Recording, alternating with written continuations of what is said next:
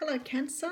It's Yvonne here to do your weekly read for the 14th to the 20th of October. Thank you for joining me. I'm thrilled that you're on board with me. Thank you for subscribing. Anyone new to the channel, thank you for subscribing. Um, if you haven't subscribed yet, I'd love to have you on board. However, if the readings don't resonate, of course, you're very welcome to move on. Um, you can check out the other aspects of your natal chart too, so your moon, rising or Venus. However, if they don't, my readings don't resonate with you, you have the opportunity to look for another reader. Okay, Cancer, what's coming out for you? The High Priestess. Very nice for Cancer. Um, already one of the more deep and um, sensitive in looking signs. The High Priestess talks about intuition. It talks about being able to access our intuition. It talks about hidden things and us being able to bring forth what's deep inside us. Now, Cancer, you are one of the signs that is very good at doing this. So I would say to you this week, you're going to be very, very much in your own space, your own energy. You are more than likely going to be able to access your intuition more than normal. Definitely on point for you. Okay, first card out is the Knight of Wands. Now, the Knight of Wands talks, he's a passionate, fiery sign. So sometimes he can represent Leo, Aries, or Sagittarius. Sometimes he's your energy. He's an energy that comes in quick, fast, hot and heavy, passionate, um, and he's here to deliver a message to you. Now, it can be a female or a male, so the whole knight thing doesn't really figure here what it is is it's about someone wanting to talk or text or let someone know how they're feeling here. It can also be someone sending you messages around you know, something that you're very passionate and driven about. Now, the thing is with the Knight of Wands, he sometimes gets a bit of a reputation of the player or the one night stand because he's hot and heavy and he comes with his wand in hand. Um, so he, he does get a little bit of a raw deal. However, it's also about people finding it very, very hard to make commitments to someone.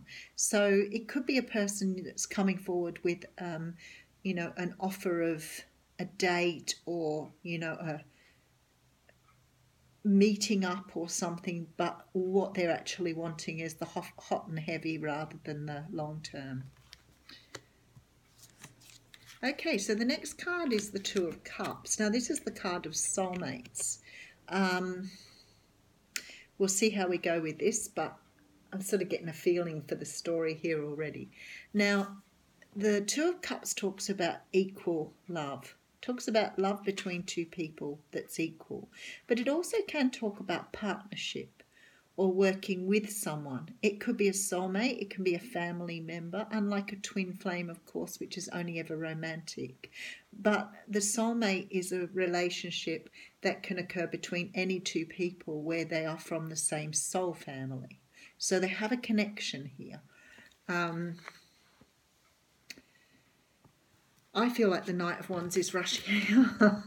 I love this. I love this work. I was going to say, I have a feeling that Knight of Wands is rushing into offer you love here. Um, and out comes the Cup of Love. Okay, so story here for someone is that they have been, their intuition, they know this. They know this is about to happen, okay? The um, High Priestess at the beginning here tells me that your intuition is on point. You've either been waiting for someone to come in and offer you love, or you've been seeing someone. Maybe you did have a flighty experience with someone, a bit of a one night stand, um, something that was hot and heavy, quick, um, and you've been waiting for this person to come back. So they are now on their way to offer you love. Now, I feel like for some of you, this this first encounter may have been some time ago, but this this coming in of this person now is very different. This person has realized their love for you and they want to rush forward and offer you something a little bit more committed. Um, so here comes this Ace of Cups, and that's the offer of true love. Um, this is a gift. It's um, something beautiful that's been destined by the universe. Okay, then we have the Page of Wands here. So I think this is you going back with some sort of some sort of acceptance here because you've got the wand as well and you're sort of shouting to the rooftops in this card. Like you're sort of letting people know how you're feeling. So I think you've been calling this person in. Do you think you've been manifesting this person? You've called them back. This is really nice, Cancer. You've really wanted this, and you've called someone back into your life that you are very passionate and in love with. Okay, because you want stability with them. You want the whole kit and caboodle. You want the house, the home, stability. So, what you want with this person is true, it's real. It's a very abundant, real love. Oh, hello. Why do we then have the tower? Now, you will know this. You're, you're knowing this already. I have to work this out. Something here somebody coming in to tell you they love you and they want to be with you. This is true love. They want to shout it to the rooftops. They want stability with you, but now we have a tower. So I'm thinking either one of you is already committed to someone else, or just hearing this person tell you how they feel has knocked you, has knocked your foundation. It's rocked your world. Okay, what is next? Yeah, you're getting a truth here. Okay. All right. I don't think you expected this person back. I think even though you manifested them, even though you've been calling out to ask for this person to come back, even though you've desperately wanted this person back into your life, now they've come back, you're either so shocked by the fact that they've walked back into your life that everything you didn't understand about manifestation, calling people back in, all of that has hit has hit home now. Um, because they've come in to tell you they love you and you weren't expecting it. There's a truth here, a truth from the heart, and it comes right on the Ace of Cups. This person is here to offer you something here. And it's real, it's true, it's beautiful, and it will lead to stability. Um, let me just pull another. Oh, okay. All right. Making sense now?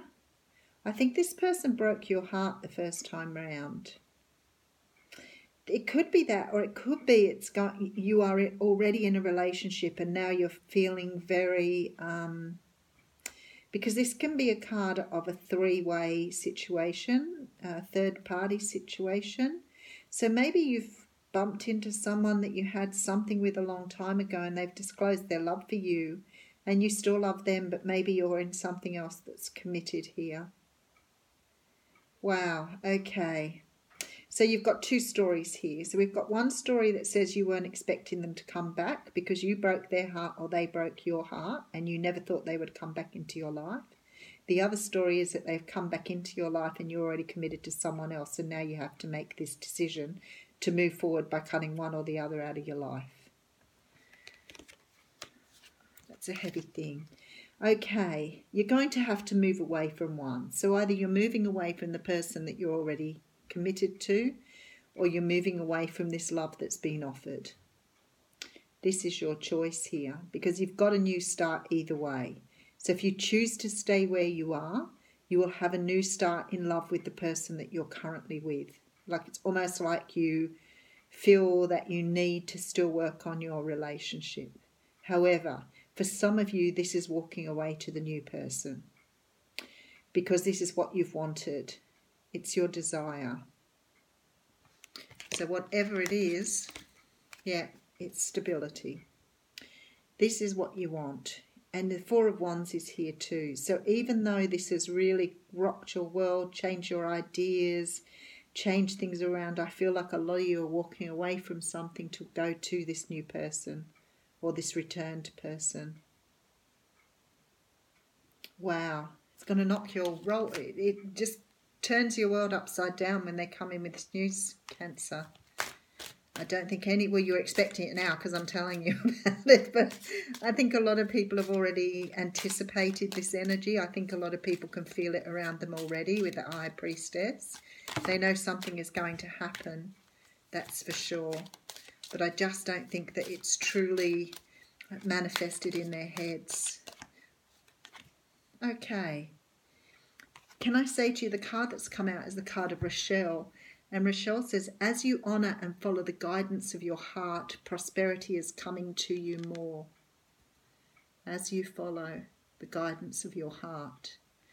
I do think a lot of you are walking away from existing relationships, Cancer, in order to take love. Thank you.